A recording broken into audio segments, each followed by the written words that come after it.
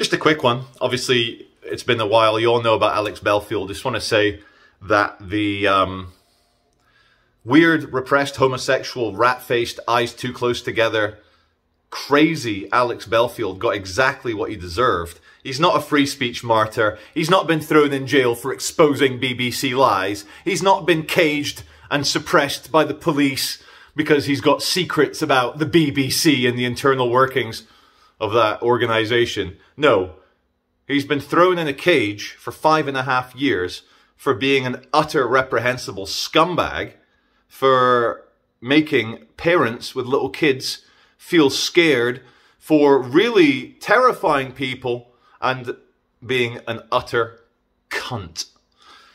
People think you can't stalk over the internet. They think that you can't have an effect. Well, you can. Alex had an effect. He really upset the people that he relentlessly carried on trying to terrify over many years. Again, as I've said many times on this channel, do shit in public. Don't fixate on people. Do two or three videos if you're really fixating, then move on. Otherwise, all you're doing is setting yourself up to get fucked over by that person and the state if you've gone too far.